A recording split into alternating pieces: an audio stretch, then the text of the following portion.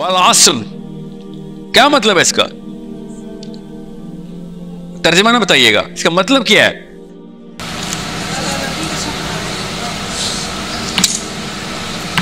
अल्लाह ताला अपनी कसम नहीं खा रहे।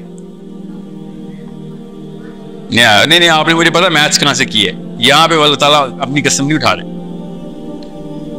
क्योंकि अब अल्लाह ताला अपनी कसम उठाते तो आगे वाली फॉलोइंग आयत ये ना होती जो है। ठीक है, याद रखिएगा।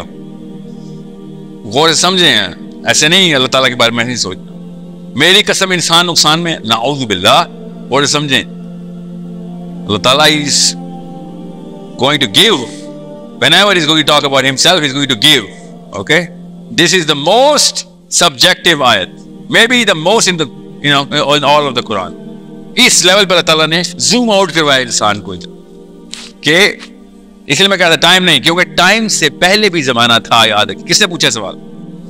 वो जमाना भी याद करें या वक्त नहीं था। ठीक है? पता ना आपको इस बात का? कुरान ने बताया वो वक्त से पहले का जमाना है। तो उसको भी फैक्टर इन करेंगे और उसको भी फैक्टर इन करेंगे जब वक्त नहीं होगा। So you need to understand psychology of the world time is very inferior psychology psychology और जमाना तो पता नहीं, किसी को तो मुझे आता मतलब ही नहीं बचा।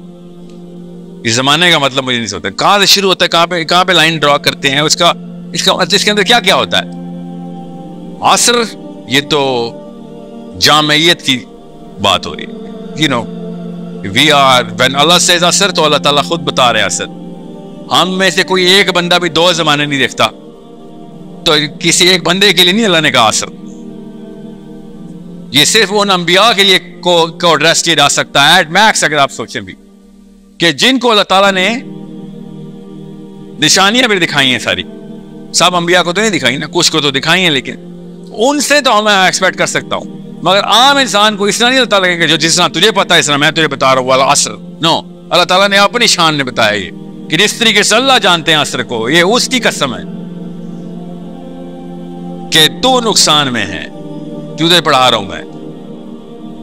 ठीक है so now we need to see इतना बड़ा जूम आउट हो गया इतना बड़ा पीछे किया कैमरा कि पूरी कायनात की ज़ीरो से लेके एंड तक तुझे दिखाई दिए वाल असर इन्नल इंसान लफी खुश।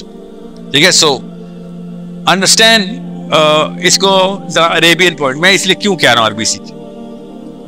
अरबी खुदा का वास्ते आपका क्यों खाली अरबी सीखने से ही बढ़ जाएगा क्योंकि कुरान में जैसे ही होता लगेगा आपको फिर उर्दू की अगर ज़रूरत ना पड़ी कहानी आपने आधी कहानी तय कर दी अभी ये कल मेरी फ़ोन के ऊपर फिर एक गोली चली है मेरे ऊपर।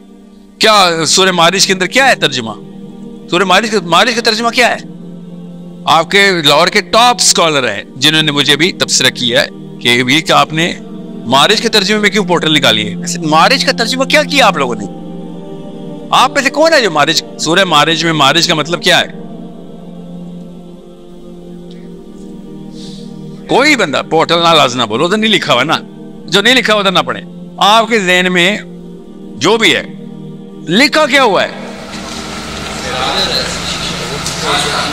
या रास्ता लिखा हुआ है, बिल्कुल। रास्ते ऑफ़ कोर्स मारिज है ना? ठीक है? महाराज नहीं मारिज मारिज का मतलब जमा है ना? सो रास्ते किधर के? वो लिखा हुआ है उधर। मैंने नहीं, उर्दू में भी लिखा हुआ, इंग्लिश में भी लिखा हुआ है। रास्ते किधर के? क्या आयत, किसको याद है आयत? आसमानों के रास्ते। या या आसमानों के रास्ते। आसमान, या उर्दू में लफ्ज आसमान है। अल्लाह ने दुनिया आसमान लिखा ना। हाँ तो अल्लाह ताला किसको आसमान कहते हैं? इस आसमान को। तो हम किसे आसमान कहते हैं? इस आसमान को। तो उर्दू में आसमान और अरबी में समावात। साइकोलॉजी में फ़र्क आ गया। अभी तक पाकिस्तानी स्कॉलर इस आसमान से बाहर नहीं जा सकते। दैट्स दी ओनली प्रॉब्लम और कुरान पाक इस इस आसमान के पर्दे कब के पहाड़ के ऊपर से ऊपर से ऊपर निकाल चुका है। हर मौके के ऊपर। निशानी ऊपर से आ रही है। So you need to understand जैसे ही आप उर्दू के ऊपर से, उर्दू के ऊपर उर्दू के पर लगा के कुरान पढ़ेंगे तो ऐसे लगेगा कि जैसे कुछ चीज़ें लिखी गलत हुई है नाउजबिल उर्दू उर्दू का ये मसला है। इंग्लिश में ये मसला इतना नहीं नज़र आया मुझे। अब्दुल हलीम की ट्रांसलेशन पढ़ा करें। एटलीस्ट मैं एक रिकमेंडेशन दे रहा हूँ। या तकी उस्मानी साहब जनरल टर्मिनोलॉजी उन्होंने बिल्कुल पकड़ी हुई है कि मैं जहाँ पे सब्जेक्टिव लाजा मैं सब्जेक्टिव रखूँ। ताकि उस्मानी साहब का बहुत पावरफुल तर्जुमा है। मैं इंग्लिश की बात करूँ मैंने उर्दू का नहीं पढ़ा। या मैंने उर्दू का पढ़ा इंग्लिश के नहीं पढ़ा। बहरहाल, उन्होंने जो भी किया वो वो, ताकि उस्मानी साहब का और अब्दुल अलीम साहब सो टाइम यहाँ पे ऐसे टाइम नहीं लिखा। ओके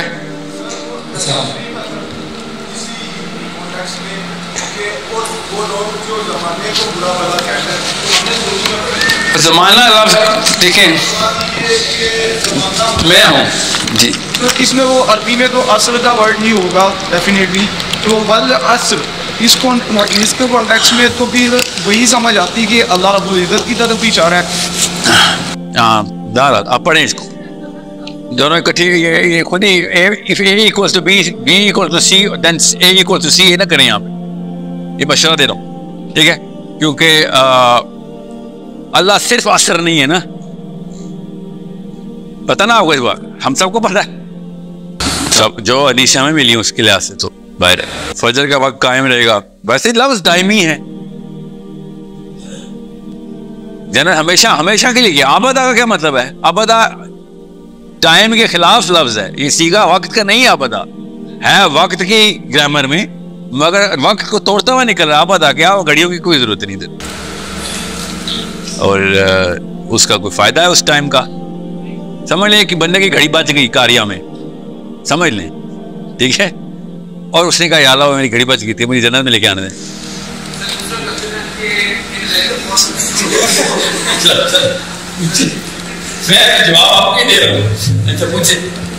मैं आपको जल्दी कर देता हूँ। एक बंदे की जन्नत में घड़ी है अब हाँ मेरे वाली घड़ी है ठीक है? फाइन अच्छा तो समझ लें घड़ी है मेरे पास ठीक है? जन्नत में घड़ी है मेरे पास तो मैं क्या करूँगा? कल तीन बजे मिलेंगे ठीक है? ये, ये सोचे अपने दोस्त से कहूँगा तो दोस्त बताएगा ये लो तीन बज गए आज मिल लेते क्या करूँगा उस घड़ी का? वो ईसा ये वाला वक्त नहीं जन्नत में, ठीक है?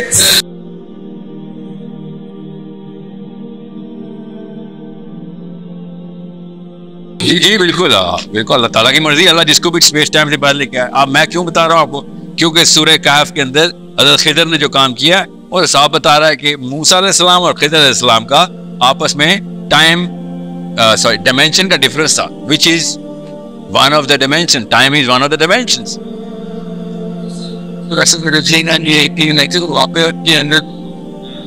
मैं ये नहीं कह रहा हूँ कि खिदर वक्त की क्या असर आता है मैं बता रहा हूँ डिग्री हैं नज़र आते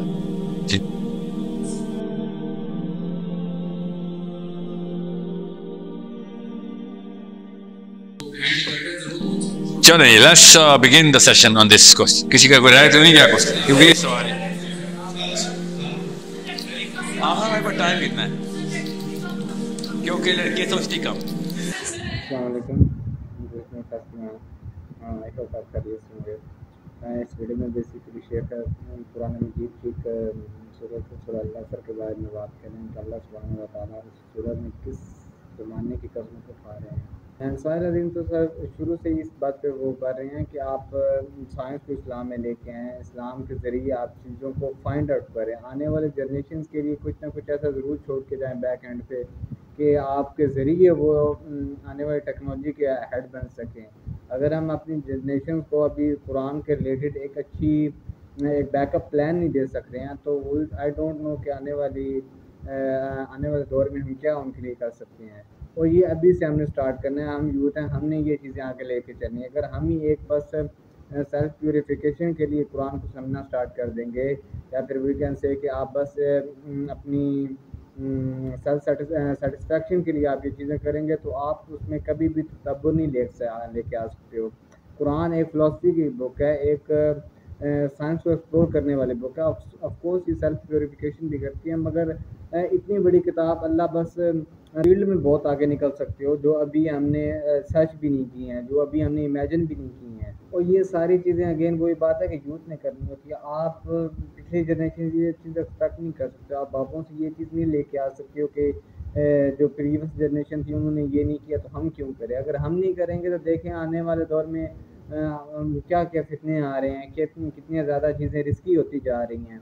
अगर हम अपने बच्चों को अभी इस्लाम के ज़रिए कुरान के ज़रिए इस्लाम में नहीं लेके आ सक रहे हैं ना तो कभी भी ये मत एक्सपेक्ट करिएगा कि आप किसी गैर मुस्लिम को कुरान दे के उसको इस्लाम पे ले ला सकोगे। कुरान के ज़रिए उसको, उसके अंदर वो सेटिस्फेक्शन ला सकोगे तो वो इस्लाम को एक परफेक्ट रिलीजन समझना स्टार्ट कर दे क्योंकि हमारे अल्लाह तो वैसे इतने ख़राब हो चुके हैं कि कोई हमसे ये चीज़ एक्सपेक्ट ही नहीं करता है कि ये एक परफेक्ट मुसलमान है। परफेक्ट मुसलमान रिलीजन तो ऑफकोर्स परफेक्ट ही होता है। तो अपने अंदर ये क्रेडिबिलिटी लेके आए कि एस्ट्रोनॉमी को स्पेस को यूनिवर्स को कुरान के ज़रिए सर्च आउट करें। और ये सारी चीज़ें मैं कोई गाने को मार्वल स्टूडियो की बात नहीं कर रहा हूँ, ये ऑलरेडी सारी चीज़ें कुरान में लिखी हुई हैं। आप हमारे बस वो लेंस चाहिए कि उसके ज़रिए हम कुरान को देख सकें। हमें वो स्टडी चाहिए, हमें वो क्रिटिकल थिंकिंग चाहिए जिसके ज़रिए हम इन चीज़ों को फाइंड आउट कर सकें। अगर आप एक फ़र्स्ट स्टेप लेंगे ना इस चीज़ को समझने के लिए, और अलहमदिल्ला साहिल सर ने ये काफ़ी स्टेप लिए हुए भी हैं लाइक आई एम एस में कह लें सोर्स कोड में, और जो भी उनकी एक दावा का काम चल रहा है, उसमें वो ये चीज़ लाजमी एड्रेस कर रहे हैं कि अपने आप को साइंस में लेके आएँ, अपने आप को रिलीजन और साइंस को अलग मत करें। अगर आप इन चीज़ों को अलग करना स्टार्ट कर देंगे तो फिर आप में और टिपिकल मौलवी में कोई फ़र्क नहीं रह जाएगा। अगर आपने यूनिवर्सिटी से पढ़ के भी वही सेल्फ प्योरीफिकेशन करनी है, जो एक मदरसे से मौलवी ने पढ़ के करनी है तो आपका फिर इतनी ज़्यादा एजुकेशन हासिल करने का कोई तुक नहीं बनता है कि आप डिफरेंस ही ना कर सको इस्लाम की चीज़ों में।